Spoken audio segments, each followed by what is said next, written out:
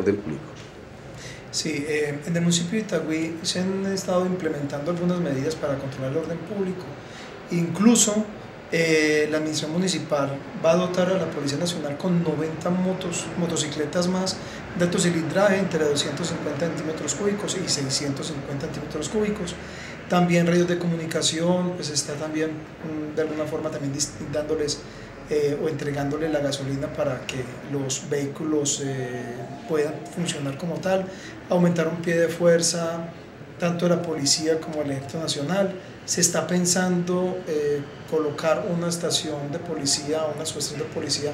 en el corregimiento, con el ánimo también pues, de brindarle la seguridad a las personas y que haya una sensación de seguridad que es tan importante para el municipio de Itagüí.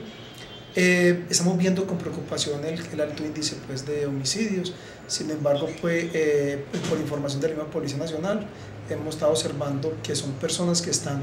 eh, relacionadas con el conflicto, con el, la problemática de homicidios en el municipio de Itagüí,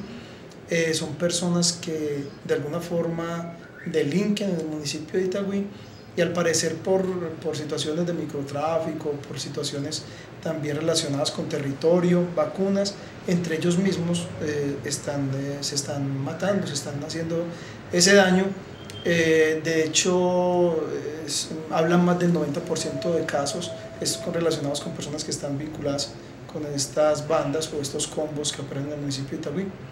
El hecho es que nosotros como personal estamos haciendo seguimiento, estamos observando realmente y vamos a, hacer, vamos a, cotejar la información que nos den los entes oficiales, también medicina legal, para establecer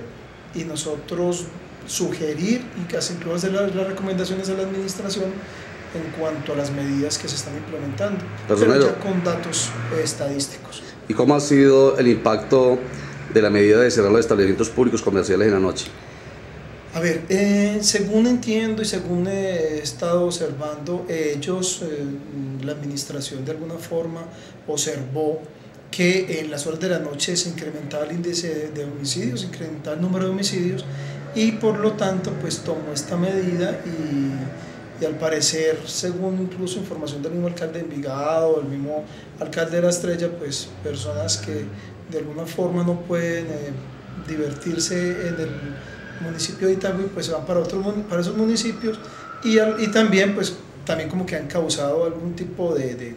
de desórdenes. Eh, el hecho no es que quiera yo manifestar de que esas medidas de pronto hay que revaluarlo, lógico, todo hay que estar revaluándolo, hay que mirar también eh, la afectación al comerciante como tal, eh, la afectación al orden público, al interés general, sin embargo, estamos como personería en esto, vamos a mirar todo, todo con fundamento en estadísticas y con fundamento en números para hacer las recomendaciones pertinentes a la administración una vez pues ya tengamos todos los datos. O sea, evaluación, los comerciantes en este caso específico no deben sentirse pues de, eh, preocupados en totalidad porque se va a revaluar la medida. No, de, no, no es que se vaya a revaluar, sino que en el evento, de que nosotros como personería observemos de que estas medidas no están causando el impacto que deben causar en el orden público, pues vamos a hacer las recomendaciones. Hay que entender que quien toma las decisiones es la administración municipal, no la personalidad municipal.